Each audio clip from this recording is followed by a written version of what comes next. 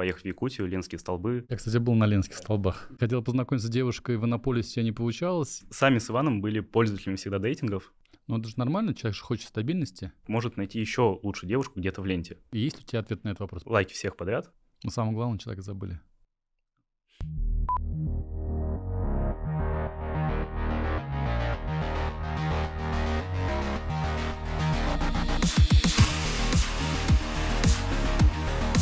В потоке с Айратом Хайрулиным.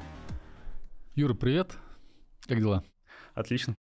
Юрий Зарубин, 21 год. SEO стартапа TalkNow, студент университета Иннополис, победитель конкурса Гея Раша 2122 в номинации «Прорыв года».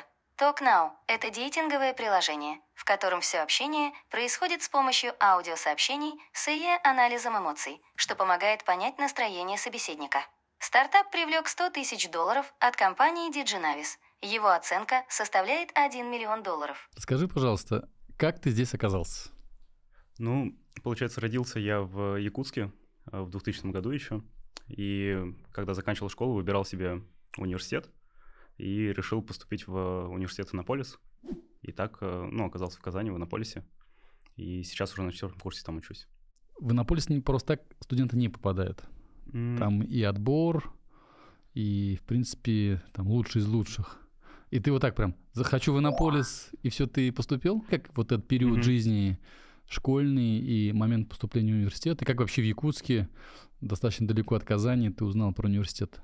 а, совершенно случайно. То есть я просто сидел ВКонтакте тогда, в перерыве между там учебой или чем-то еще, а, листал ленту и увидел рекламу, что вот есть IT-город, в котором есть э, квартиры выдают, учеба мирового уровня, вот их рекламные вот эти слоганы. И просто почему-то захотел нажать, посмотреть, что это. То есть тогда еще не понимал вообще. А, Зашел, посмотрел, не поверил сначала, что это существует. Сказал родителям, что вот такой вроде город есть, но не уверен. Мы летом поехали туда а, после 10 класса посмотреть, просто что это существует реально. Настолько это нереально, что пришлось поехать. Ну, казалось, да, потому что все другие вузы, ну, какое-то общежитие обычное, старое, а, просто, ну, обычная программа, а тут все было расписано красиво. Ну, посмотрели, убедились и запланировал туда именно поступать. Вот. А так я был олимпиадником всегда, и школу закончил золотой медалью, поэтому там этапы отборов, это сначала заочный отбор идет, то есть какие-то резюме сдаешь, а, пишешь внутренние испытания, олимпиады те же самые, потом тебя зовут на очный отбор уже. И на очном отборе все то же самое посложнее, и плюс собеседование с профессором еще. А какой конкурс, помнишь, на место был? Ты же бесплатно учишься? Да, конечно. Вот сколько было человек на место? М, Как писали, что больше 15 тысяч. А, Нет, на одно блин, место. Нет, это вот на все, получается, там около 400 мест. То есть, грубо это по сколько? По, по 40 или по 400? Точно сейчас вот не вспомню, какие данные там были. Но это именно с этого, с заочного отбора шло. То есть заочный отбор, они читали все заявки, которые подавались. Мгм. А когда уже очные отборы, там было порядка 20 точно человек на место. 20-25, где-то так. А ты э, до конца верил, что поступишь? Или какие-то сомнения, может, были? Вот у меня мама, наверное, больше сомневалась, потому что а, в Иннополис я ездил в марте 2018, 2018 года, а, з- заочный очный отбор. И потом мне сказали, что я попадаю в лист ожидания и должен ждать э, конечных результатов, когда меня уже либо возьмут, либо откажут. И у меня внутри было чувство, что меня точно возьмут. То есть э, иначе как-то быть не может. Но мама говорила, что давай лучше подашь еще в другие вузы, отправишь там аттестат, ну, заявление подашь. И я ходил, отправлял, и в последний день, когда я последний вуз уже отправлял, там еще тогда по почте надо было отправлять, отправил письмо, пришел домой, и мне приходит сообщение, что все, ну, мы готовы вас взять, э, подтвердить свое согласие. А куда еще пытался направлять документы? Ну, Или хотел поступить Да, как а, резервный вариант? Вообще изначально давно-давно я хотел за границу поступать, поэтому английский язык изучал, а, планировал в Германию, а, ну, рассматривал больше Германию, немецкий тоже изучал, но там не сложилось как-то и решил в России оставаться. И сразу в Иннополис, а подавал а, еще в МФТИ, МГУ, а, Вышку, ИТМО в Питере. И, ну, вот пять вузов, и Иннополис пятый. Ты про Олимпиады говорил. Э, Какой профиль? Математика, что ты? Вот Чем ты увлекался А, в то время? Математика сначала, потом в восьмом классе увлекся химией, то есть это вообще далеко от IT было. А, Стал олимпиадником по химии, выигрывал а, республиканские олимпиады, а, занимал именно первые, вторые места. И, но все равно понимал, что как-то химией я вроде не хочу заниматься. И у меня появилась тогда идея еще в девятом-десятом классе, наверное. Какой год? А, так, это 2016, наверное. 2016. Да. А, появилась идея создать, э, можно сказать, клабхаус в свое время. Начал гуглить, что вообще для этого нужно знать. Там программирование или что. А, наткнулся на старый очень учебник по HTML, CSS. А, тогда еще не знал, что есть какие-то фреймворки, есть э, вообще другие языки, что-то еще. Просто учился по книжке, а, вот HTML, CSS изучил. Честно говоря, прогуливал даже некоторые уроки в школе, чтобы сидеть именно изучать. Но мне это нравилось. И даже участвовал в Junior Skills, который World Skills, только вот для э, школьников. И там занял сначала первое место в городе, и потом первое место в республике по веб-дизайну. Э, ну, тогда мы писали на голом HTML и CSS. А потом еще поступил в заочную школу программирования. Там мы на C++ писали, ну, изучал что-то. И стал в Олимпиадах участвовать. В буквальном смысле самостоятельно по книжке освоил получил навыки программирования, и в целом ты начал руками делать то, что, собственно говоря, ну, в школе, наверное, невозможно было научиться. Да, то есть в школе вообще этому не учили. Там, друзья или кто-то, может быть, окружение, кто бы этим занимался. Такого не было у тебя, да, что кто-то в IT увлекался вокруг тебя? Нет, совсем нет. А, только когда на Олимпиады стал по информатике ходить, какие-то знакомые стали появляться, но а, все равно мои близкие друзья, они никогда не занимались IT. Сейчас тоже не занимаются. Я был один раз в Якутске, Скажи нашим подписчикам, кто в Якутске не был, и, наверное, может быть, и не доберется, наш далеко, угу. что такое Якутск, особенно с точки зрения природно-климатических условий. И вот я э, в свое время впечатлился цифры, что Якутия, республика, по своей территории, настолько огромная республика, это как целая Индия, это треть России, по большому да, счету. Несколько Франций. То есть, э, но при этом во всей республике, это самая большая республика, но в ней живет ну, вроде все еще меньше миллиона человек. То есть э, в Якутске около 340 тысяч, наверное. В самом городе, в да, столице. Да. А, там красивая природа очень. То есть советую всем посетить э, Якутию, именно не только Якутск, поехать в Якутию, Ленские столбы. Э, Я, кстати, был на Ленских столбах. Вот, вот эти вот красоты там э, очень интересно. И зимой, и летом. А про климат у нас Летом очень жарко, на удивление. То есть многие думают, что Якутия это всегда холодно. Летом бывает плюс 40 у нас. А зимой минус 56, я точно помню, было, и больше, наверное, тоже. Но при этом холод, холодно, но климат сухой, не влажный, и мне даже в свое время казалось, что в Иннополисе было холоднее, когда зима была, там ветер и минус 15-20 э, казалось как-то. Лучше бы я в Якутске минус 40 сидел и спокойно. В школу мы переставали ходить только при минус 48. Минус 48? Да. И это, мы... это норма, как бы до минус 45 пойти в школу. Да, 47 все идут. А, и помню эти дни, когда просыпаешься, темно, зима, а, и включаешь радио, чтобы э, услышать, что там скажут, все, актирован день, 48 а, градусов, никто не идет в школу. Но всегда говорили 47, все шли. А было минус 48, и вы не ходили в школу? Э, вот 50 было, и 56 даже было. И да, то есть Наверное, каждую зиму мы неделю где-то пропускали. В городе, ну, когда слишком холодно, никто даже не, не выходит, не ездит никуда, потому что туман поднимается, а видимости вообще нет, и, ну, все по домам сидят в основном. И думаю, это, кстати, причина, почему, э, принципе, в Якутии IT очень хорошо развивается. Почему? То есть э, как раз компании, ну, из крупных это InDriver, э, из GameDev это вот Майтона, э, еще есть какие-то компании.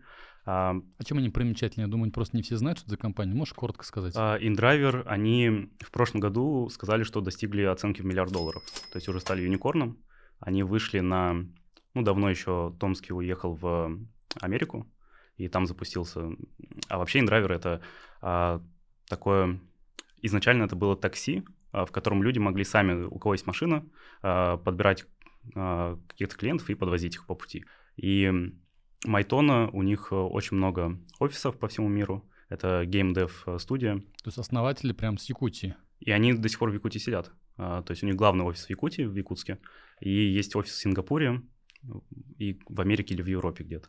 И делают игры, при этом качественные игры, и направлены именно на американский рынок. То есть в России эти игры, э, наверное, даже мало кто слышал. Я сейчас сам не вспомню название, но в Америке пользуются спросом. И считаю, почему это появляется. А, в принципе, очень много программистов там, олимпиадников хороших, потому что зима, а, делать совсем нечего. а, выйти с друзьями, ну, слишком холодно. Все сидят дома, и кто-то выбирает путь просто сидеть, ничего не делать, а кто-то выбирает путь, если есть интернет, развиваться, учиться. И, наверное, это влияет очень сильно. Мамонтов искал в вечной мерзлоте? Я помню, когда появился мамонтенок Дима, а, которого нашли в год не помню, а, это мамонт, который сохранился полностью, то есть у него шерсть осталась, бивни, он просто замерз, и его нашли, и он лежал на площади Ленина в центре какое-то время просто зимой, потому что... В смысле, прям в центре города? Да, да, да. Ну, нет, нашли его где-то а, вроде в районе Ленских столбов, но я могу путать. А, привезли на исследование, у нас как раз музей был в центре, и просто на площади Ленина он лежал несколько дней, и можно было пройти посмотреть. В открытом воздухе? Да, ну, минус 50, то есть особо проблем не было с этим. То есть у нас тоже в Якутии было так, что а, холодильник э, стоит дома, и плюс у тебя есть балкон, на который ты зимой выносишь все вещи, они просто замерзают, и такая вторая морозилка была.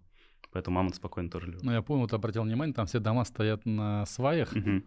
То есть ты едешь, потому что там, ну, вот как бы, вроде казалось бы, может быть, кажется, видимый чернозем, uh-huh. но на глубине 20-30 сантиметров. Да, там вечная мерзлота сразу уже. То есть ты э, копаешь лопатой, и через какой-то небольшой промежуток слоя у тебя просто вечный лед. Да. И у тебя лето, но лето он как бы вечный.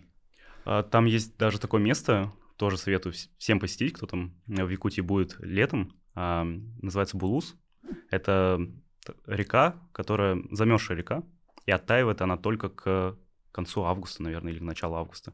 И можно в июне, в июле в плюс 40 приехать и там играть в снежки, а, бегать по льду. И это очень необычное ощущение, потому что только что ты был на горе, там солнце, жара, а внизу уже просто лед.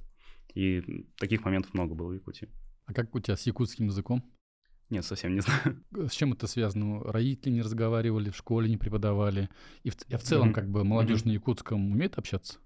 А если это коренные жители, то в основном у них в семьях, в принципе, на якутском общаются, и они, а, якутский — это их родной язык, а русский уже второй язык. У меня а, отец э, русский, получается, а мама кореянка вообще но корейский я тоже не знаю. А, и ну, мы общались на русском, и школа, гимназия была тоже, в основном все ребята на русском говорили. Но когда во вторую школу перешел в лицей, там а, и преподаватели, и ну, школьники, одноклассники, они только на якутском говорили, многие.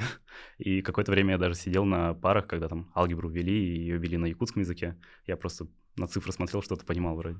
Еще запомнилась мне одна история, вот скажи, правда или нет, что дети, которые ну, проживают в Якутии или в Якутске, знают точное количество шагов для того, чтобы дойти от дома до школы.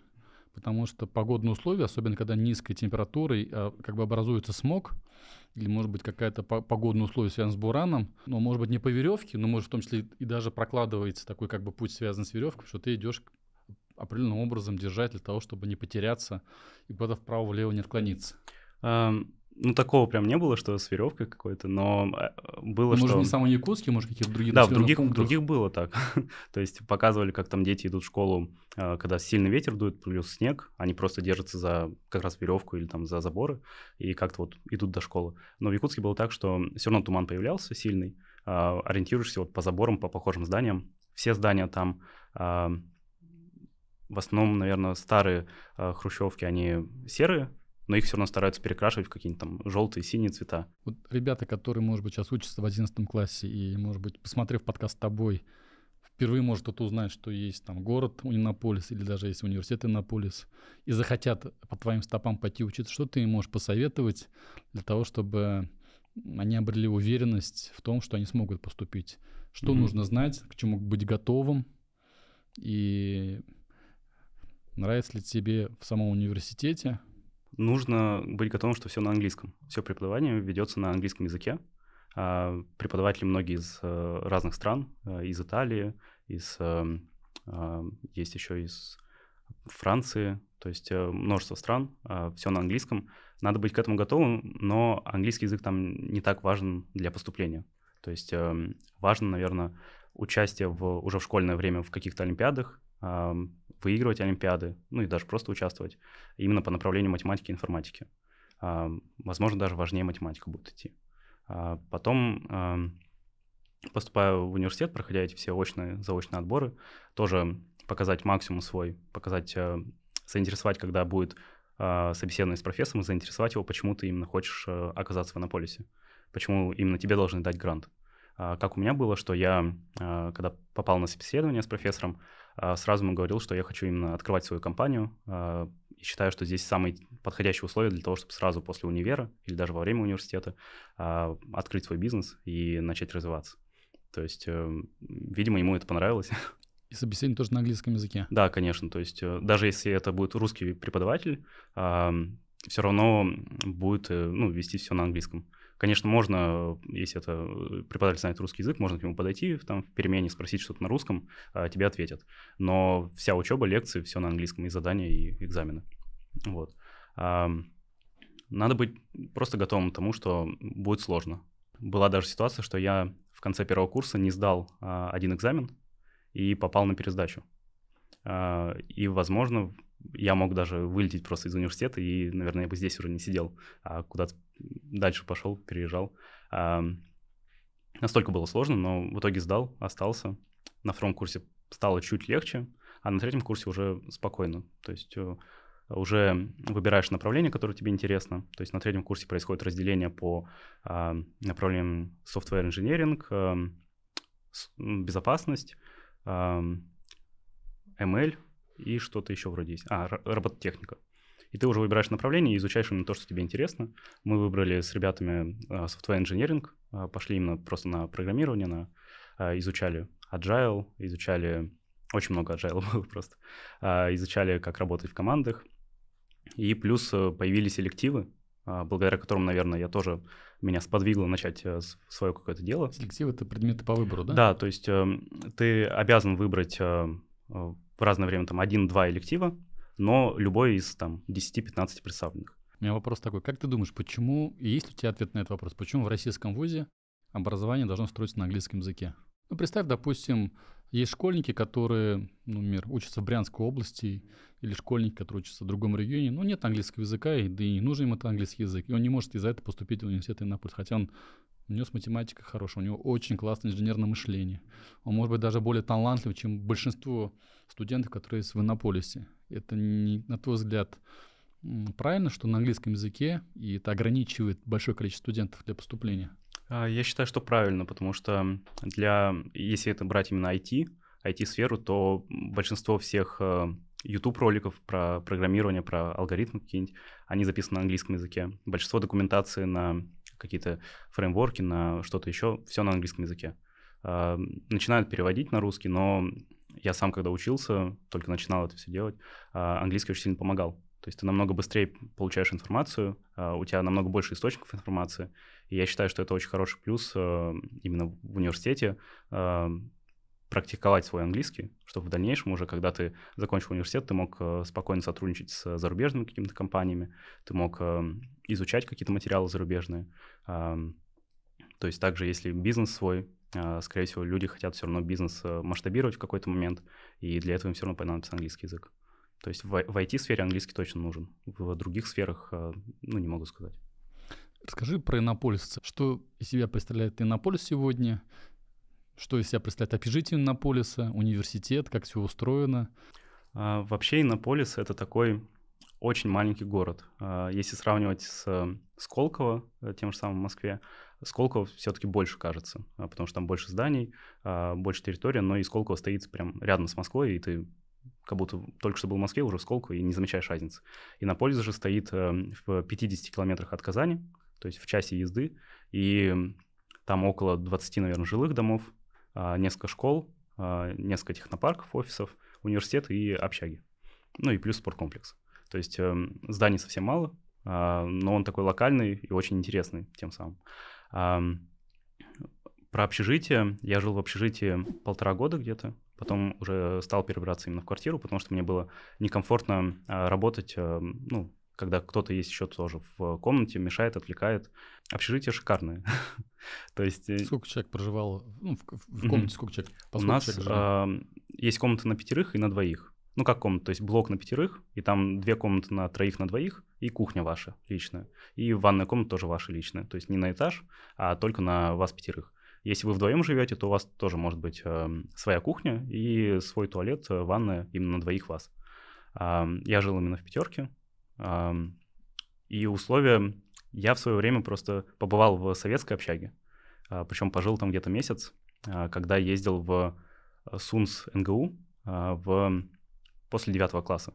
И из-за того, что я поздно приехал, нас заселили в самую дальнюю общежитие, не для школьников, а просто для студентов советское общежитие с тараканами, со всеми этими вещами, э, романтикой своей.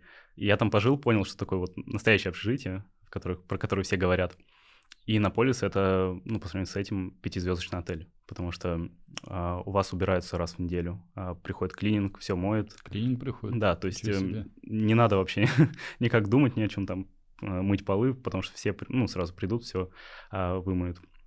Есть э, сразу переход между всеми общежитиями до университета, и многие ребята просто берут зимой а, кофе, заваривают в чашку, а, тапочки и идут просто на, на пары, а, потому что теплый переход, не нужно выходить вообще на улицу.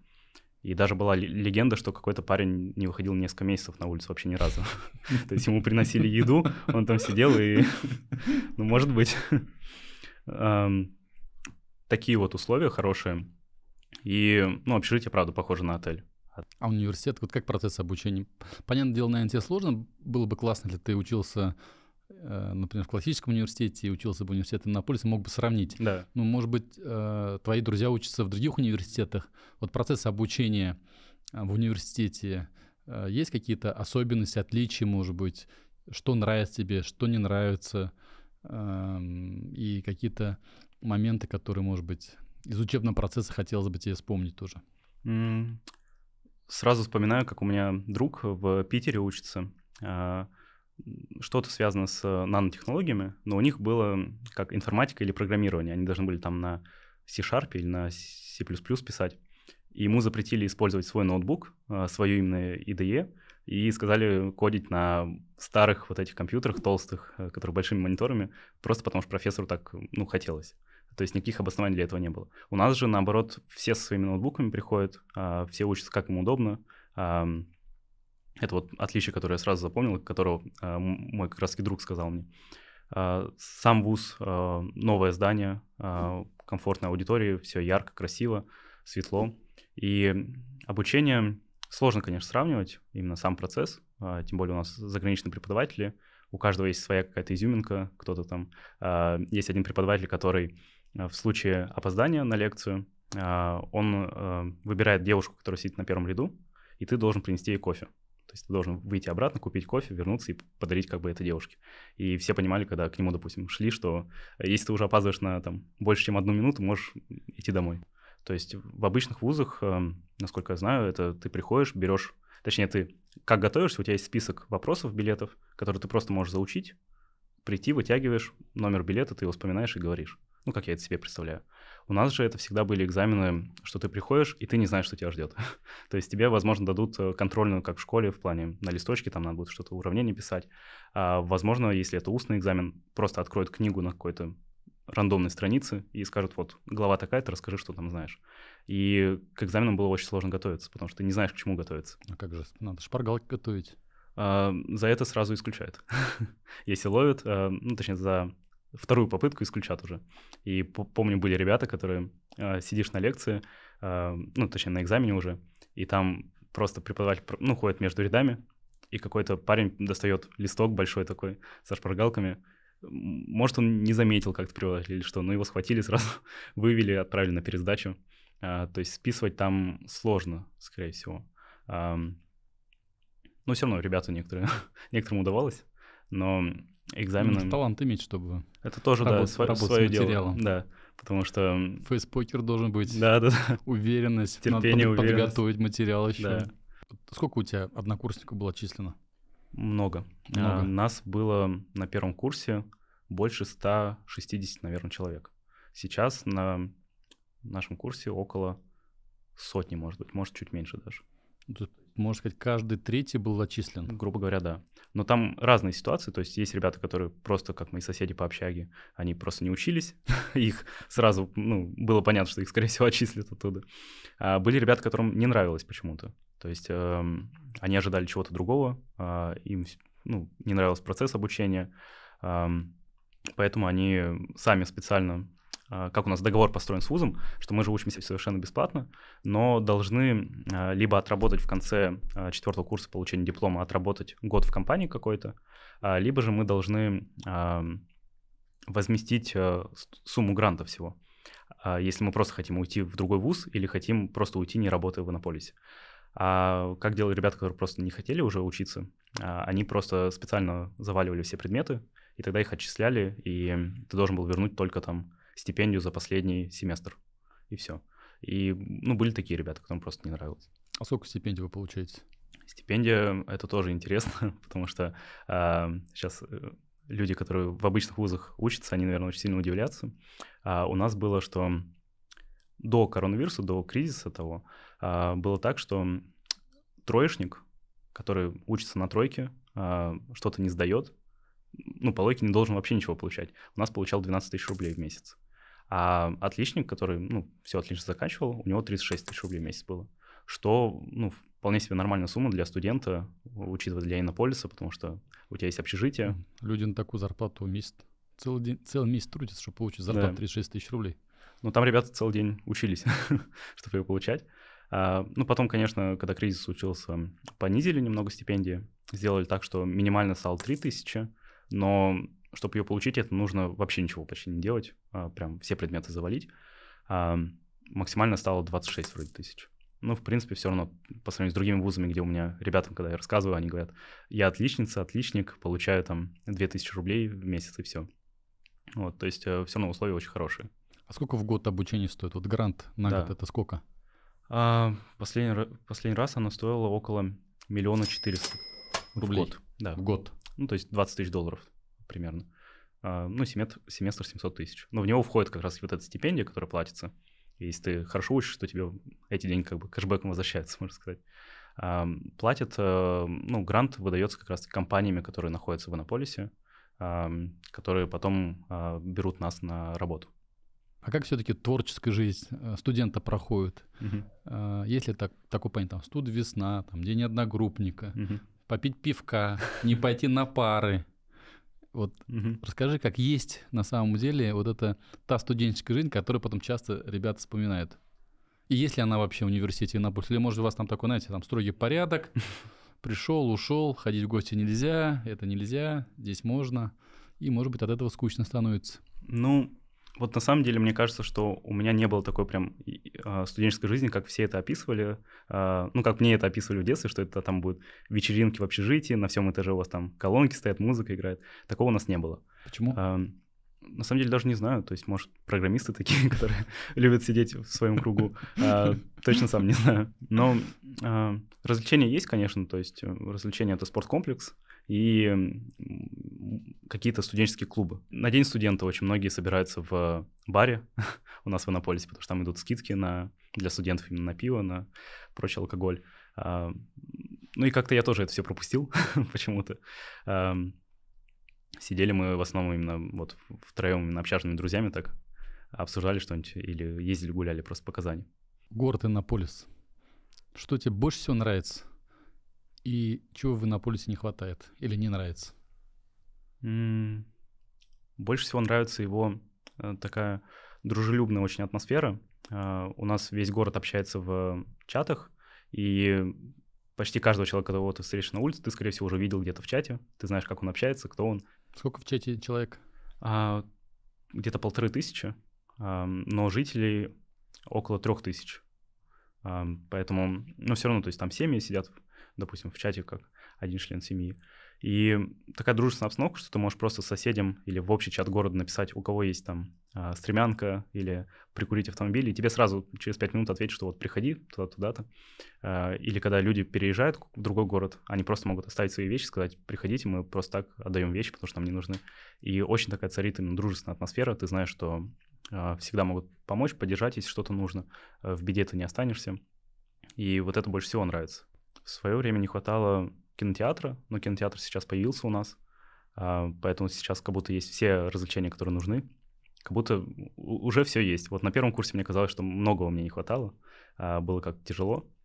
Сейчас именно пока все нравится, то есть пока даже не заметил ничего. Расскажи тогда про свою компанию, о которой мы начали говорить. Что за компания, что за проект? Поподробней.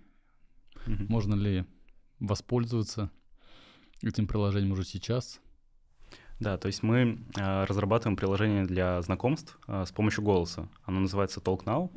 Э, и это приложение, где вы можете найти друзей или какие-то серьезные отношения э, и начать общаться именно э, голосовым общением. То есть э, там видно фотографию пользователя, и можно прослушать его аудиоприветствие. Если вы друг другу нравитесь, ставите взаимные лайки, то вы переходите в диалог, и в диалоге вы тоже общаетесь только с помощью голосовых сообщений. А почему голосовые? Потому что мы считаем, что а, именно в таких дейтинг-приложениях, приложениях для знакомств, а, в них не хватает э, эмоциональной связи между пользователями. То есть ты видишь просто такую, можно сказать, бездушную карточку человека, на которой фотография и какой-нибудь текст, там, одно-два слова и все.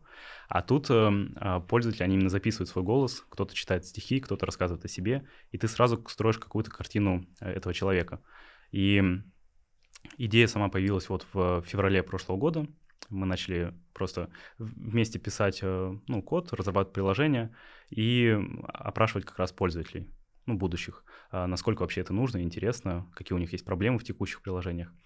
И все так э, закрутилось до того момента, что мы пошли в э, особую экономическую зону Иннополис получать именно юридический адрес, чтобы зарегистрировать э, компанию и зарегистрировать приложение и выложить его наконец в App Store.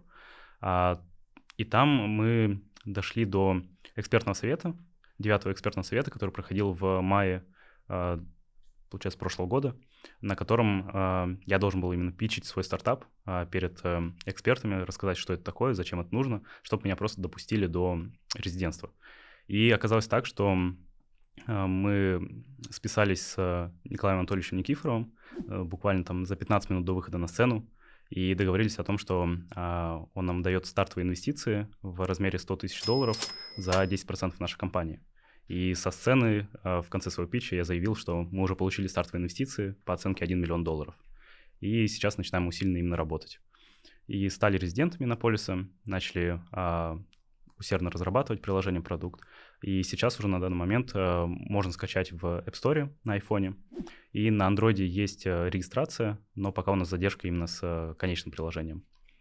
И по данным у нас более уже, наверное, 5000 пользователей именно сидит, общается. Поэтому довольно, довольно уже большая аудитория для такого начального, можно сказать, стартапа. Но мы активно стараемся сейчас выходить именно на российский рынок, охватывать его. А что значит списались э, с Николаем Никифором? Ты его сотовый телефон знал? Как ты с ним познакомился? Было так, э, тоже довольно интересная ситуация, что э, сначала мы познакомились на... Участвовали в конкурсе 100 лидеров Татарстан будущего от торгово-промышленной палаты э, РТ. И там познакомились случайно с Вадимом Галеевым. Это был э, замдиректор э, Иннополиса. А, он туда приезжал просто с лекции про Иннополис, и мы к нему подошли, пообщались, подружились, что вот у нас есть такой стартап, уже был какой-то MVP, а, показали ему приложение. А, ну, он заинтересовался и попросил отправить ему презентацию. И все, и на этом как бы наш диалог с Вадимом закончился. Потом мы сидели с Иваном, думали, ну, какой у нас путь дальше, то есть искать инвестиции у кого, как. И как раз Николай Анатольевич э, в чате города просто поднялась тема про инвестиции, то, что в стартапах нет, э, ну, сложно найти деньги, и он там вел беседу. Мы задумались о том, что, может, можно ему написать и как раз показать, ну, наш пич. Может, ему понравится, может, нет, но что-то получим от этого, а, какой-то совет хотя бы. А, но подумали, что надо пока отложить, Uh, у нас еще ну, не готова презентация окончательно, не готово там приложение. Подождем, попозже напишем. В итоге в один день, в субботу, uh, я просто был дома, а, отвлекся от работы, решил убрать э, квартиру, и было такое настроение выключить полностью телефон, уйти в такой детокс и просто остаться наедине с собой, а, с мыслями. Но почему-то я его не выключил. И в этот момент, когда я там э, убираю квартиру, приходит сообщение, а, я смотрю, а там от э, Николая Анатольевича, что ему кто-то отправил нашу презентацию, и его это заинтересовало, и он хочет рассмотреть именно инвестирование. Ну, естественно, я бросил все свои дела сразу домашние, э, начал вести с ним диалог. Ты не стал прыгать по квартире, а... когда тебе пишет сам Николай, еще пишет первым, и ты, наверное, может быть, даже, как говоришь, не ожидал, что кто-то откликнется на твои материалы. Да, то есть, э, ну, конечно, была радость. Я сразу написал в наш чат, э, ну, именно нашей команды, Ивану там, что вот, uh, у нас есть предложение, нужно что-то думать, uh, но все равно понимал, что теперь, значит, все будет серьезно уже. То есть уже это не будет таким студенческим проектом, который мы захотели поиграли, захотели бросили, а это уже вот а, серьезная именно работа, стартап, бизнес. А, начали вести диалог а, с такой долей радости, общались, обсуждали, и потом ушли просто на ну, перерыв. То есть мы скинули там фин-модель нашу, презентацию еще раз, и ну, сказали просто тогда подумаем и все, именно со стороны Николая Анатольевича. И когда я уже пришел на экспертный совет, я ему просто написал, что вот э, я сегодня буду на экспертном совете, можете посмотреть, там ссылка есть на трансляцию. И в этот момент, когда за 15 минут до выхода на сцену как раз, мы начали просто переписываться по какому-то поводу и решили обсуждать как раз инвестирование, а, и обсудили, что вот э, он, он готов выделить нам 100 тысяч долларов за 10%. А, в тот момент э, это было волнительно больше, наверное, даже. Не сколько радость, сколько волнения было из-за того, что а, мы, можно сказать, не ожидали этого именно с Иваном. И мне сейчас надо выходить на сцену, что-то рассказывать и в конце говорить о, о том, что вот, на самом деле у нас уже есть новость, что мы уже привлекли деньги. И даже, честно говоря, после того, как все это закончилось, уже когда я выступил, я пришел домой, а, просто покушал и, можно сказать, лег спать, чтобы просто уже отдохнуть и в новый день понять, что, что случилось, что произошло. Очень многие поздравляли тогда, а, но мы начали просто еще серьезнее работать то есть уделять все возможное время стартапу. А, естественно, учебе стали уделять меньше времени, но ну, считаю, что это не зря все-таки было. А почему дейтинг-приложение? И уже, во-первых, ну, исторический а, интернет даже зарождался на дейтинге, да, очень. И сейчас популярные приложения, там, Tinder, Баду, я там все перечислять не буду. Почему лезть в этот рынок, который, ну, может быть, на мой взгляд, угу. сформировался, и он существует, и в этот Красный океан. Да, а мы... Хотел познакомиться с девушкой в Иннополисе, не получалось, и вот решил попробовать приложение ну, мы вот сами с Иваном были пользователями всегда дейтингов. То есть, как вообще я познакомился с дейтингом? А, меня вот друг в Питере э, сказал, что есть такой Тиндер, скачай его просто по приколу. А, он сам там не сидел, но меня там зарегистрировал. Я полистал людей, пообщался с кем-то, было интересно, но, ну, как-то странно, необычно. И вот мы с Иваном, получается, как-то были пользователями дейтинга, даже не сколько в поисках там серьезных отношений, а, может, просто в поисках дружбы, и просто интересная механика этого всего. И когда был как раз Клабхаус на хайпе, э, я подумал, надо что-то делать нам, потому что, ну, у нас сейчас нет бизнеса уже, потому что студию закрыли, а, нет других стартапов, нужно что-то придумать, потому что уже скоро заканчиваем университет, нужно где-то отрабатывать. И а, появилась идея совместить вот Clubhouse и Tinder, а, взять такие ключевые моменты и соединить их. И пообщавшись с пользователями еще, мы узнали, что очень много проблем у пользователей существует. То есть э, у пользователей, у них, э, ну, как я уже говорил ранее, отсутствует эмоциональная связь, поэтому у них общение длится максимум 1-3 дня, и дальше просто перестает э, идти. Э, у некоторых даже не начинается общение. То есть э, очень многие э, девушки в основном удивляются, почему у них образуется пара с каким-то парнем, и он не пишет. Uh, ничего не происходит, просто есть пара и все. Ну, пара имеется в виду, когда свайпаешь, лайкнули друг друга, да? Да, взаимные лайки произошли, у вас есть пара, у вас открыт диалог, вы можете начать общаться, и все. ничего не происходит дальше. Uh, дев... Как это объясняется?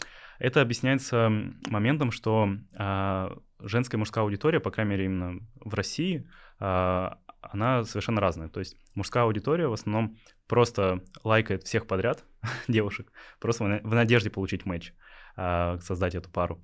И из-за того, что ну, происходит лайки всех подряд идут, а, образуется пара, и у мужчины происходит в голове а, такая иллюзия, что он за этой девушкой может найти еще лучшую девушку где-то в ленте. И поэтому он ей не станет сейчас писать, пойдет дальше на поиски, будет еще листать, найдет еще кого-то, а потом подумает опять, что ну, может кто-то лучше и начнет опять листать. И вот этот процесс у мужчин, у большинства мужчин, наверное, развит, что они просто лайкают и не пишут, потому что считают, что будет лучше что-то.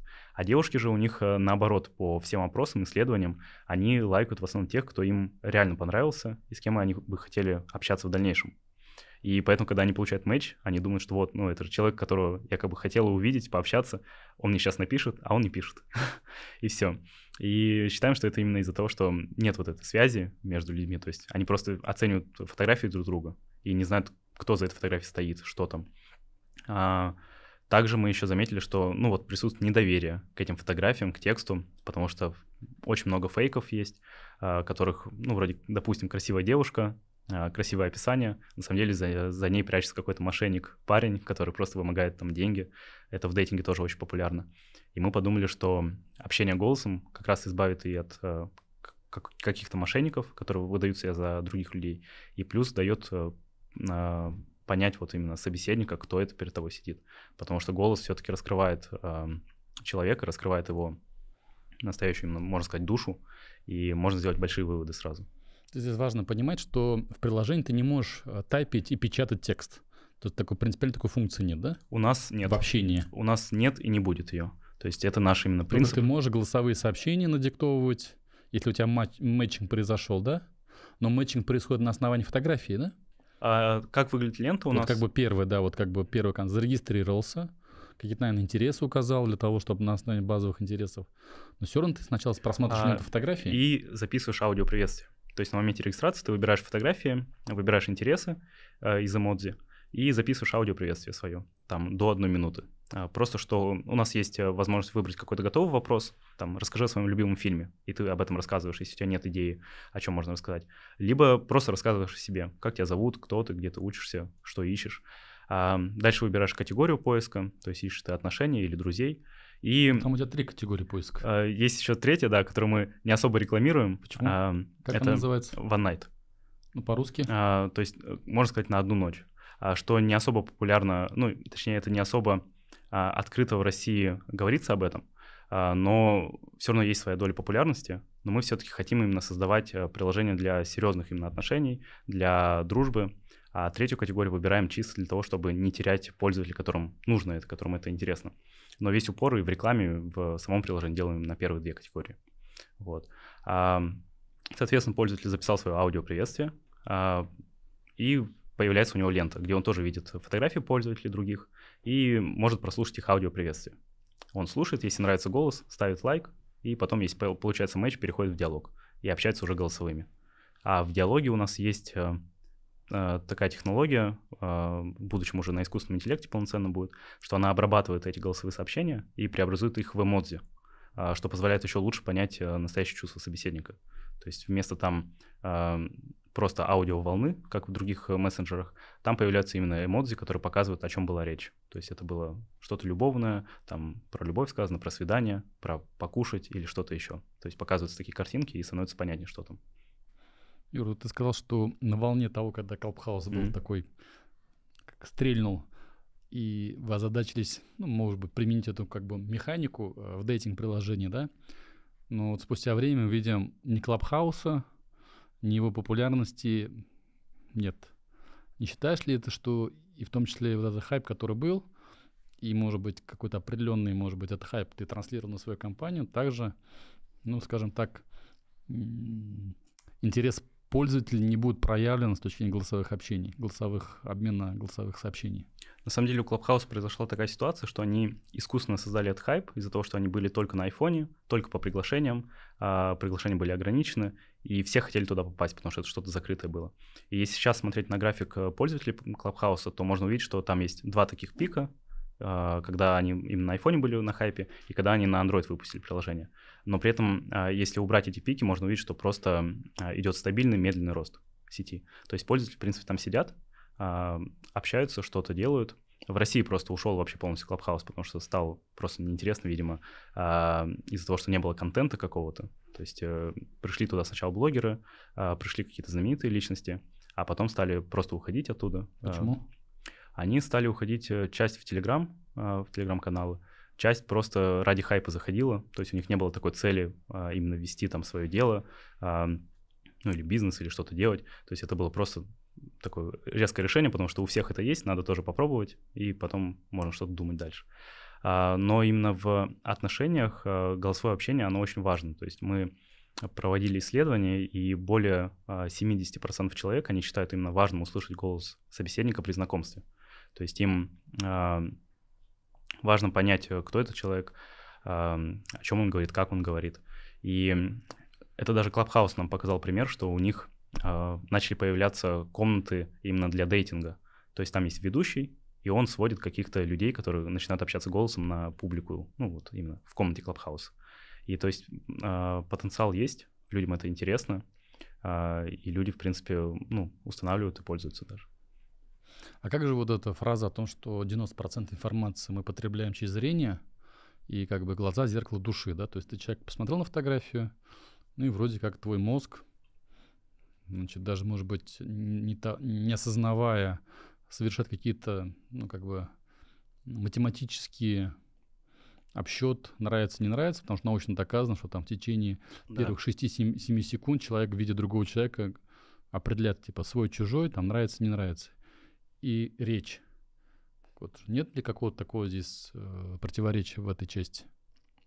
Мы для этого специально запустили сейчас АБ-тест, то есть мы тестируем две группы пользователей, взяли. У одних э, сразу видно фотографии, и, ну, есть возможность прослушать аудио. А у другой группы у них э, пока нет, ну, э, фотографии заблюрены, и тебе нужно сначала прослушать аудио, а потом ты увидишь, э, кто за ней, ну, скрывался за картинкой этой. И э, мы недавно только начали этот тест, будем еще смотреть на метрики, изучать, но предварительно э, метрики даже стали лучше именно у второй группы, которая не видит сначала фотки, которая сначала э, слушает именно голос. И потому что наша цель — это именно создать приложение для знакомств, которое будет э, определять не по внешности, а именно по душе, по интересам человека, э, сделать такой э, по-английски anti-superficial э, дейтинг-приложение. Что это означает? Если дословно переводить, то это не поверхностное а, именно приложение, ну то есть приложение, по которому ты не по внешности определяешь, а именно по каким-то другим составляющим человека. А, потому что мы считаем, что внешность она может быть и важна э, в человеке, но если э, кроме внешности у него ничего нет, то, скорее всего, будет именно тяжело и общаться, и дальше что-то делать.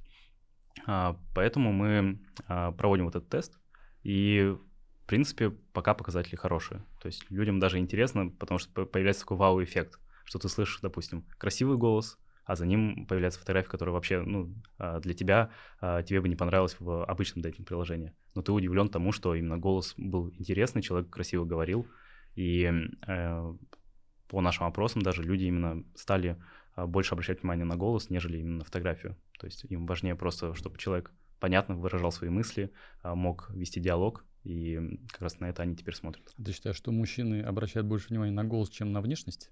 А, мужчины, в принципе, в дейтинге, они, а, можно сказать, им без разницы вообще, на что обращать внимание. То есть им э, просто важно как бы получить отношения или друзей. А девушка все-таки обращает какое-то внимание именно на голос. Ну, это подтверждает фразу, извините, что перебивать, девушка любит ушами. Да, да. А мужчина глазами. Да. Так у мужчин надо отключить эту возможность прослушивания, там просто фотки делать. Просто фотки, чтобы А девушки пусть слушают. Да. Нормально будет, а, как в жизни. Да. Вот про Тиндер ты говорил. В Тиндере сейчас, наверное, сколько пользователей? В мире? Ну, в мире, наверное. В мире у них... Э, вот в Баду я точно знаю, что у них было больше 500 миллионов пользователей в свое время. Да, они почти перевалили полумиллиардную. Да. А Тиндер был э, меньше, чем... Миллионов 100, может быть, 90. Там больше 100, там вроде было 150, наверное. Ну, точно вот не вспомню. И ты будешь конкурировать с этими площадками? А, какой у нас изначально был план? Что мы а, пойдем именно сразу целились на американский рынок, что это будет именно рынок США, и мы будем там а, делать свое приложение для знакомств. При этом были сложности с тем, что находясь в Иннополисе, мы будем вот делать международный какой-то продукт. А, но там очень высокая конкуренция, плюс именно параллельно с нами стали появляться стартапы, которые тоже делают а, приложение для знакомств и тоже с помощью голоса. Кстати, а, такой российский даже есть российский проект. Да, который наш основной конкурент был. Vox. да, но у них, э, как мы сейчас поняли, что они в свое время получили а, инвестиции от а, Mail.ru Gaming. Да, а, от ВКонтакте там. Да, именно от гейм-индустрии, и мы заметили, что сейчас у них а, само основное приложение для знакомств, а, они его остановили, в плане не, не выходит новое обновление уже больше месяца. И это довольно странно для стартапа растущего, что ну, обновления должны выходить там каждую неделю или... Проели все деньги, наверное, уже. А, появился новый у них проект а, в App Store. Это какая-то игра. А, то есть это уже не дейтинг, не знакомство, ничего этого. Это просто именно игра и все, которая на голосовых завязана как-то. И, возможно, просто инвестор, э, так как это был, ну, Mail.ru Gaming, который на играх специализируется, они решили, а, ну, пустить именно команду на разработку игры. Вот. А, соответственно, в мире тоже появлялись другие стартапы, которые по голосу общались. И мы думали конкурировать с ними, какую-то долю рынка захватывать, потому что а, наше основное конкурентное преимущество, как бы парадоксально ни звучало, это то, что мы не Тиндер. А люди просто устали во всем мире от Тиндера. Они устали от этих э, свайпинга пользователей, листания туда-сюда. И им хочется чего-то нового, необычного, не просто фотографии текста. И они активно перетекают в другие приложения для знакомств. А, но сейчас, э, на позапрошлой неделе, мы узнали, что а, конкуренты уходят из России. То есть э, Баду и Бамбл полностью ушли. И пока остался только Тиндер из крупных. И мы считаем, что это как раз для нас возможность охватить именно рынок России. По оценке как раз-таки Бамбла, у них выручка была около 20 миллионов долларов на российском рынке. То есть, в принципе, деньги здесь есть, а, возможности есть, пользователи есть, и поэтому мы сейчас думаем развиваться вот на рынке России и ближайших наших стран. А сколько сейчас пользователей приложения? А, около пяти тысяч. Но мы не запускали таких прям активных маркетинг компаний. То есть мы сейчас находимся на стадии тестирования гипотез роста. То есть сначала мы протестировали какие-то продуктовые гипотезы, а, подтвердили то, что в принципе это нужно, люди пользуются, люди создают пары, люди общаются. И сейчас мы начали именно а, тестировать какие-то каналы привлечения разные. То есть э, тестируем блогеров, тестируем просто обычный таргет, тестируем там телеграм-каналы. И в каждом канале какая-то своя стоимость образуется а, привлечения этих пользователей. И ищем какой-то оптимальный вариант, а, который нам именно даст а, возможность быстрого роста.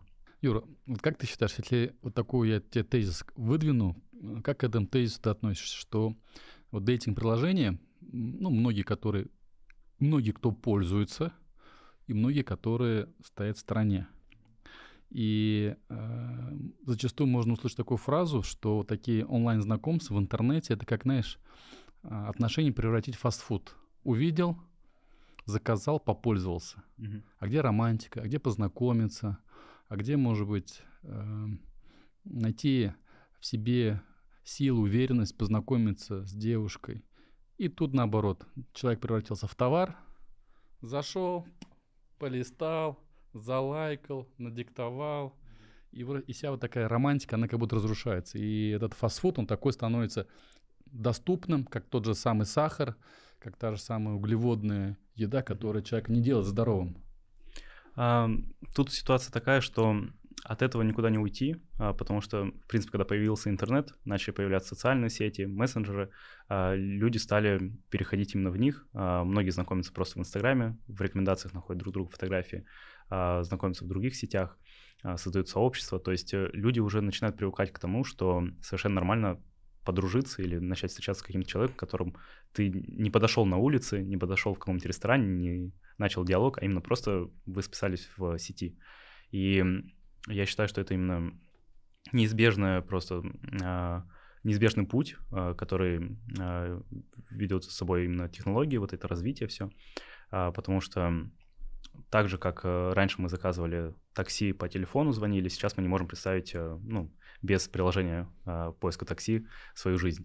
И здесь также, что люди просто начинают привыкать к этому. Люди понимают, что сейчас всем так удобнее становится, а, даже по нашим опросам на улицах люди почти не знакомятся, потому что идут либо в какой-то компании друзей, и они не хотят сейчас с кем-то еще знакомиться, либо они, в принципе, ну, боятся просто, что к ним кто-то подойдет, и сами боятся подходить, и к ним, когда подойдет кто-то.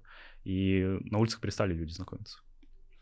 Я не про это, я немножко mm-hmm. про другое. Не обесценивает ли это возможность людей познакомиться, выстраивать отношения? Познакомился, не понравилось, следующий или следующий. И этот конвейер он становится таким ну, достаточно большим, потому что технология, она как бы еще раз, как бы, это тезис, я хотел твое мнение услышать, обесценивает возможность э, долгосрочных отношений человека. Ты сейчас к человеку относишься как, и не к тому, что я против социальных сетей, а к тому, что человек становится как товар на полке в магазине. Ты, по сути, делаешь маркетплейс, как Озон и Валберис. Но только маркетплейс не Озона Э, продуктов питания или каких-то э, предметов, да, а маркетплейс людей или, или, собственно говоря, их отношения, собственно, когда ты продаешь на, сам, на самой э, цифровой площадке. Отношения а, превратились в товар. Я да, вот хочу сказать. Э, такое мнение есть, и оно, в принципе, правильное в других дейтингах точно. То есть эм, это даже психологи сейчас со многими работают а, людьми, что они заметили давно какие-то там ученые, что люди разучились строить какие-то долгосрочные отношения, потому что они как раз ожидают, что, ну и сейчас вот начали отношения, не понравилось, мы не будем работать над этим, мы не будем там решать какие-то вопросы, просто разойдемся и найдем нового человека. И именно у нашего, наверное, поколения такое сформировалась какая-то такая привычка, что а, сложнее людям взаимодействовать э, с друг другом в отношениях, им легче просто разойтись и начать искать нового партнера. И ну, наша цель как раз в дейтинге постараться сделать это просто удобным способом а, знакомства, но при этом не обесценивать вот э, людей, не обесценивать вот эти их фотографии, а ну, добавляем вот голосовое общение, считаем, что это хоть какую-то частичку души покажет и создаст какую-то вот именно связь между пользователями. Может быть, вам э, поработать над какими-то правильными датасетами, чтобы matching, mm-hmm. который происходит не просто на, э, на уровне там, слуховых восприятий, а чуть более глубинные взять научные исследования, чтобы matching был такой, что вероятность того, что они разойдутся, mm-hmm. она была бы, допустим, ну, низкая, да, психологическую, психологическую совместимость людей никто не отменял. Mm-hmm. И работа над алгоритмами э, такими, чтобы ну, как бы человек не ошибся в выборе другого человека. Да, вот э, это наша тоже такая цель. А, пока у нас просто не так много именно пользователей и данных, чтобы на них что-то тренировать и смотреть. Но мы диплом как раз пишем в университете на вот тему алгоритмов, а, поиска именно мэтчинга пользователей внутри приложений. И в идеале в будущем мы хотим, когда будет больше данных, обучить именно хотя бы нейронную сеть какую-то, чтобы найти взаимосвязь, допустим, между а, людьми, которые а, образовали хотя бы пару, и людьми, которые даже никогда не образовывали пару, и показывать их друг другу в рекомендациях. И также думаем, а, ну просто как идея есть, что вводить какие-то тесты на совместимость или просто на психотип человека, чтобы потом именно делать мэтчинг. Даже есть идея просто по гороскопу уже сделать, потому что девушкам, в принципе, это очень интересная идея знакомства по совместимости знаков зодиака. И тоже над этим думаем, сейчас, может, будем добавлять. Ну, то есть ищем какие-то варианты, смотрим, но пока не хотим именно усложнять как-то сильно разработку, сильно продукт, а, чтобы не тратить кучу сил просто только на продукт и потом оказаться с продуктом и без ничего больше. А мы сейчас параллельно вот все-таки привлекаем пользователей, ищем. А можешь поделиться какими-то данными или метриками, сколько а, в среднем, может быть, нужно просмотреть или прослушать голосовых сообщений, чтобы этот первый мэтчинг состоялся а, мужчины и женщины, например, на твоей площадке? А, первый лайк происходит примерно спустя полторы-две минуты после попадания на ленту, после регистрации.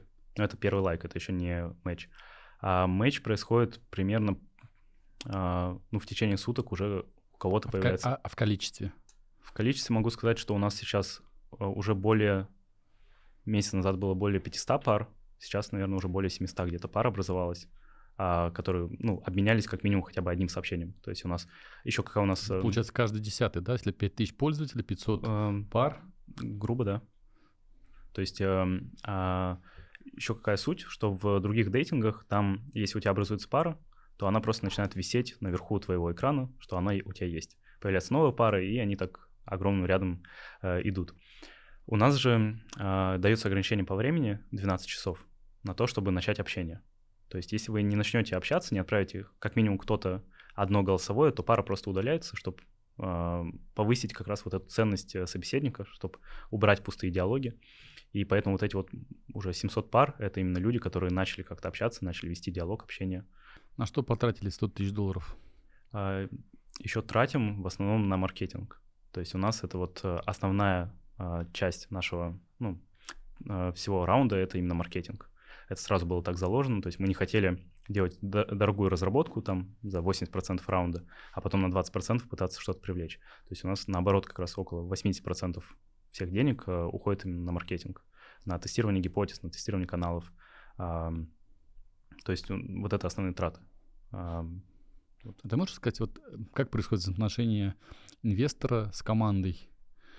Как вы решаете, кто формирует бюджет, угу. на маркетинг, не на маркетинг, функционал, не функционал, и какие есть обязательства у вас перед инвестором? На самом деле... И не испытываешь ли ты какую-то определенную ответственность? Я же деньги не подарил, добрый дядя, да?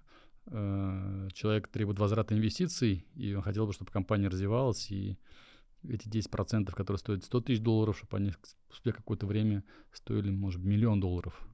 И если ты не достигнешь этих целей, то что дальше будет? А, ну, вообще, хороший инвестор — это тот, кто понимает, что когда он дал деньги, а, возможно, он их больше не увидит, и все закроется. Это идеальный инвестор. Да, это человек, который уже понял, что все, ну, он распрощался. Николай Анатольевич, можете забыть про ваши инвестиции, потому что идеальный инвестор. Ну, Николай Анатольевич, правда, очень хороший инвестор.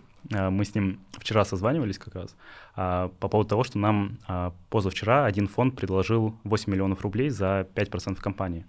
То есть в долларах в пересчете это наша оценка в два раза растет, но вот мы с ним обсуждали и пришли оба к мнению, что нужно лучше отказываться от этих денег, потому что там ну, какие-то именно непонятный договор, через конвертируемый займ, очень много каких-то моментов с вопросом таким а, в договоре. И мы подумали, что лучше а, не будем брать эти деньги, потому что сейчас у нас нет такой прям спешки, что мы, а, у нас кончается бюджет. И с Николаем Анатольевичем очень приятно именно вести вот это общее дело, потому что у него нет каких-то именно требований, что мы должны ему прислать строго отчет, куда мы потратили, зачем потратили, за каждую копейку отчитываться. Тут есть такое доверие, что мы именно он увидел, понял, что мы не тратим просто деньги там на... Как некоторые, некоторые стартапы, а, я заметил такое, даже у меня знакомые были, они получают инвестиции, и эти деньги сразу пытаются вывести себе на счета и отдыхать на них. А он, наверное... Тачку какую-нибудь купить хорошую а, сразу. да, сразу машины, а, там, одежду и так далее, путешествия. А, он, наверное, увидел, понял, что мы не из этих ребят, то есть у нас договор... А как он это понял? А, потому Вы что... аудиосообщения друг другу не отправляли? ну, одно аудиосообщение он мне отправил. Но я ему просто показывал всегда отчет работы, что вот за там прошедший месяц или там какое-то время у нас такие-то новости, пользователи такие-то, мы прошли туда-то. А, очень много конкурсов или акселераторов участвовали. То есть участвовали в акселераторе от Сбера, Сбер Студент. А потом я участвовал в конкурсе GC, а, это конкурс молодых предпринимателей, он такой всемирный и всероссийский как бы. А, тоже там победил. И... А что эти победы все дают? Вот в Сбер Student победили, вам там деньги дают? А, Или это просто признание, диплом? Там нам не дали денег. А должны были дать? Там э, мы стали именно финалистами, а первые места отдали тогда другим именно проектам, которые э, у ребят были именно школьные проекты. И, ну и мы сами считаем, что э, тот призовой фонд, который был, э, там около 100 тысяч рублей или там 300 тысяч рублей, э, им будет намного полезнее, потому что у нас уже был раунд инвестирования, э, и у нас не было такой спешки за деньгами. Это, конечно, всегда приятно получить деньги просто с воздуха, но мы считаем, что как раз молодым э, стартапам важнее э, выигрывать в этих конкурсах, чем стартапам, у которых есть какие-то уже большие крупные деньги или выручка. А, но почему мы на эти мероприятия ходим, участвуем? Потому что там очень много можно получить полезного общения, а, познакомиться с какими-то инвесторами или с ребятами, которые тоже а, горят какой-то идеей или захотят у тебя работать в стартапе. И вот мы там познакомились с Сергеем Дашковым, там мы познакомились с разными просто друзьями, с которыми сейчас продолжаем общение, поддерживаем друг друга, делимся. И все эти конкурсы, вот их, наверное, основная суть в том, что получаешь именно общение, знакомство. Недавно на той неделе э, в нашем IT-парке проходил э, вместе со Сколково стартап-тур. Два вопроса. А почему твоего проекта там не было? И второй вопрос, он может быть более сложный. Там было порядка, ну, чуть больше ста заявок. Вот что, на твой взгляд, надо сделать, чтобы таких ребят, как ты, будем говорить про Татарстан в первую очередь, с желанием работать, с компетенциями, желанием создать технологический бизнес становилось больше? Угу. А, первый вопрос, почему нас там не было, а, потому что мы просто поздно узнали. То есть мы увидели о том, что будет проходить, я начал регистрироваться, подавать заявку и узнал, что вчера уже дедлайн был по подачам, и подумал, что а, в принципе, просто посетим мероприятие, то есть не сколько нам важно именно участие в конкурсе, а сколько там все равно можно пообщаться с кем-то, познакомиться, и поэтому туда поехали уже как просто посетители. А, но у нас там а, как раз э, Настя, которая победила с э, стартапом Нейровуд, это а, моя подруга, мы с ней познакомились еще в Сколково давно. Ездили ее поддержать, и не зря, потому что вот она заняла первое место, мы очень рады были за нее. То есть вы знакомы были с ней Да, этого? да, то есть... Она молодец. Она вообще из Москвы, и я просто увидел, когда список финалистов на сайте, увидел Нейровуд, подумал, вроде это ее стартап. Написал ей, она говорит, да, я вот приеду впервые в Казань, на один день сразу уеду. Ну и мы решили, что надо как бы поддержать а, и показать Казань. Поэтому встретились, и она выиграла, и э, очень радостно было э, за нее именно то, что такой стартап получает вот э, какие-то первые деньги э, с конкурсов. Это классно. Как э, делать так, чтобы больше становилось ребят? Тут, наверное, проблема в том, что а, большинство студентов, это даже с которыми я общаюсь, знаком, они предпочитают выбирать путь какой-то именно стабильности, а бизнес это точно не про стабильность. То есть они выбирают именно э, путь э, просто работы по найму, получения зарплаты, а, каких-то вот, ну, таких вещей. И... Ну, это же нормально, человек же хочет стабильности. А, в принципе, это, ну, то есть это нормально, каждый человек э, сам выбирает, что, э, как ему жить, и мне просто, сам, сам я понимал, что я не хочу работать на кого-то, я просто не смогу работать. И ты не хочешь стабильности? Э, наверное, даже нет, потому что намного интереснее жить, когда у тебя каждый день что-то новое. То есть вот вчера мы целый день там обсуждали вот этот договор о новых инвестициях, и ты никогда не знаешь, что будут ли у тебя деньги в следующем там месяце, не будет денег, и это интереснее намного. А, а мне было бы скучно ходить а, там к, к 8 к 9 на работу, возвращаться домой, спать, потом опять идти на работу. Ну, для себя я так это вижу. И, наверное, просто большинство хочет именно стабильность, а, это нормально, и из-за этого не так много появляется стартапов именно в России, которые что-то именно готовы делать. Я сам ездил по многим мероприятиям, по пич-сессиям и замечал, что может не хватает просто образования и понимания, что такое именно стартап, а, чем он отличается просто от э, какого-то бизнеса, а, какие амбиции там. И но все равно считаю, что сейчас э, что-то зарождается, что-то появляется. То есть все больше ребят молодых, которые хотят а, чем-то заниматься. У нас в Иннополисе вот появилась э, стартап-студия, в которой как раз-таки собираются студенты а, в основном из новых курсов, то есть с нашего курса там никого нет почти, которые хотят создать какой-то свой проект. И они там обсуждают, придумывают идеи, кушают пиццу. то есть э, такие мероприятия, мне кажется, и будут повышать э, вовлеченность людей. Есть ли у тебя примеры для подорожания или кумиры, или угу. э, технологические предприниматели, на которых ты смотришь и хочешь быть где-то рядом с ними? Угу. Кто тебя вдохновляет а, наверное, я от всех э, предпринимателей, бизнесменов или стартаперов беру по чуть-чуть. Э, что-то мне нравится в этом человеке, что-то в том.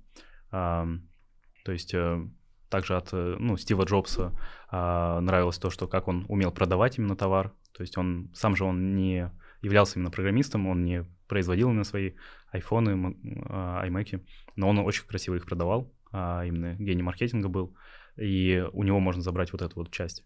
А у других, эм, ну, также вот из России, допустим, Олег Тиньков, то есть его все равно к нему некоторые не очень хорошо относятся, потому что считают, что у него слишком импульсивная такая подача и ведение бизнеса. Но я считаю, что у него все равно есть э, какие-то моменты, которые э, можно себе записать, э, подумать, как в своем именно сфере это ну, произвести. Ну, что ты вот для себя отметил в нем? Он именно а, уверенный человек и именно хочет а, у него в первую очередь стоит его бизнес, можно сказать. То есть э, я просто подчеркнул, как он именно общается с э, коллегами, и я не знаю, насколько я хочу сам также общаться, но просто я знаю, что вот э, такое может работать, вот у него работает э, такое импульсивное общение. И это интересный момент в плане просто, чтобы знать, что такое может быть, э, и так, в принципе, какие-то все равно чего-то можно добиться. А брать того же самого Илона Маска, который сейчас, ну, очень стал популярным, можно сказать. Раньше я просто помню, как в 2014 году, наверное, его обсуждал с друзьями, и некоторые просто не знали, кто это. А сейчас, ну, любой, мне кажется, знает. У него тоже его это а, такая необычность, что-то, внезапные какие-то сделки или внезапные какие-то решения. А, это вот тоже очень интересно выглядит. И как он может заразить именно своей идеей того, что вот мы полетим в космос, и главное там получить деньги, и мы полетим. И он заражает идеи, получает деньги, и он, правда, летит в космос. А, сделаем машину, заражает этой идеей, и все у него получается. То есть эм, у каждого надо вот что-то свое а, получать именно у предпринимателей различных. Ну, ты вот э, двоих американцев назвал, одного российского. Mm-hmm. Из российских предпринимателей mm-hmm. кого бы еще отметил? Галицкого, наверное. Сергей Галицкий. Да, который именно у него, а, в принципе, отношение мне нравится к тому, что деньги он спонсировал именно свой регион, что он не тратил сразу все деньги просто на себя лично, а не забывал именно о месте, где он родился, где он вырос. Есть два галицких. Угу. Ты говоришь про того, который магнит основал. Да, который магнит. Есть еще другой венчурный предприниматель, тоже галицкий. А, не, вот про магнит и как раз, что он... И футбольный клуб, который... Да, да, да. Стадион построил, то есть он именно инвестировал в что-то свое. Ну, можно э, считать того же самого Андрея Андреева, который, как бы, э, можно сказать, помог нам создать дейтинг, потому что он сам создатель дейтингов. А у него именно интересно э, то, что он таким серийным предпринимателем всегда был. То есть он создал сначала а, вроде ма- мамбу первую, да, продал ее, а, создал Баду, а, недавно продал, тоже вышел. Бамбл тоже он, можно сказать, создал. И Тиндер тоже создал его бывший работник.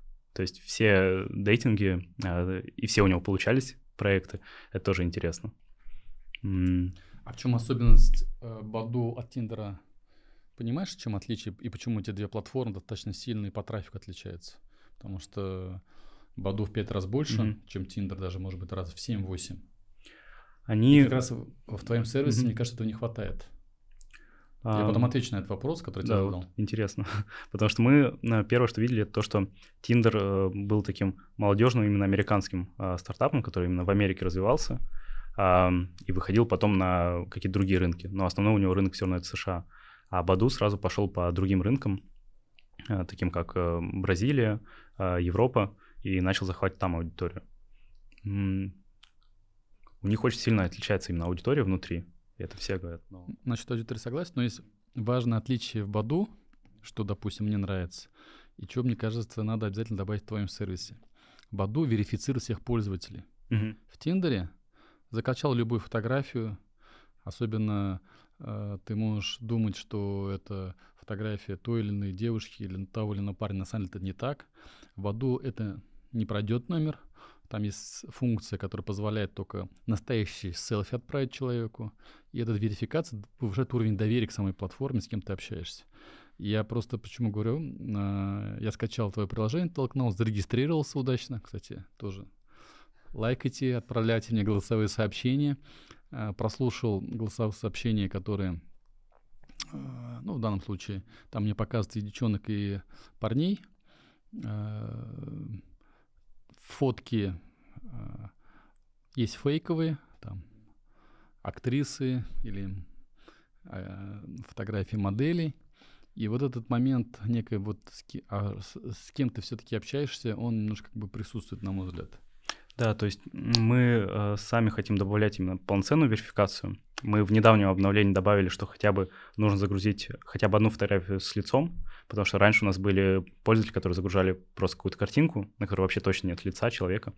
А, просто чтобы именно создать верификацию, у нас пока а, мы думаем над этим, ну, хотим это сделать, пока, наверное, скорее нет возможности либо времени, либо команды. Но в будущем точно будет. Хорошо. Андрей Андреев, ну, это, правда, его псевдоним. Да. Еще кто? А, тебе интересен? Можно вспомнить э, сейчас Дмитрий Волков. Мы ну, самого главного человека забыли. Николай... Павел Дуров. Павел Дуров. Он для тебя. Павел Дуров. Э... Или он все-таки, это может быть в моей парадигме.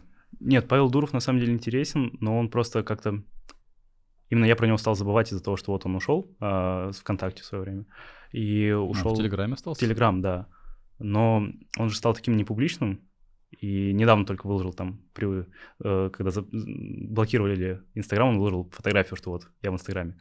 А, наверное, поэтому я про него просто забыл. Но, ну и в принципе он не публичный, и сложно что-то о нем узнать, вот как он именно ведет бизнес, но у него что-то явно получается. То есть по Телеграму это можно увидеть.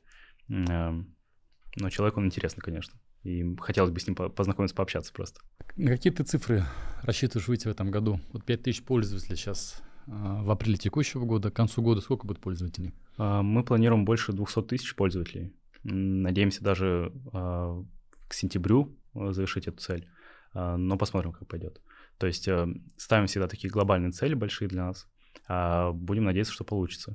То есть 200 тысяч пользователей по всей России которая именно будет... Э, главная еще проблема, то, что пользователи должны Uh, у них должен быть хороший ретеншн, именно возврат в приложение, потому что если мы даже uh, привлечем там миллион пользователей, но у нас ретеншн будет около нуля, то в итоге на следующий день у нас останется ноль пользователей, ну, активных. И мы сейчас работаем как раз над ретеншеном, и заметили, что у нас ретеншн долгосрочный, 30-го дня, uh, около там 30-40%. То есть у нас 30-40% людей через 30 дней все еще остаются в приложении, все еще им пользуются. И мы считаем, что это очень хороший показатель, потому что по другим конкурентам у них около там 5-10%, ну 5-10% а, возврата пользователей. Иначе, если будет низкий ретеншн, нам придется постоянно привлекать пользователей, привлекать, привлекать, чтобы нескончаемо это было, и быстро их монетизировать, потому что если они рано уйдут, мы их не успеем монетизировать, то мы просто будем сжигать деньги. И мы сейчас больше работаем над ретеншеном, и потом мы хотим, что вот 200 тысяч зарегистрированных пользователей, при этом у нас активных будет около там 50 или 100 тысяч пользователей. Какая выручка сейчас в месяц генерится приложением? Ровно 0 долларов.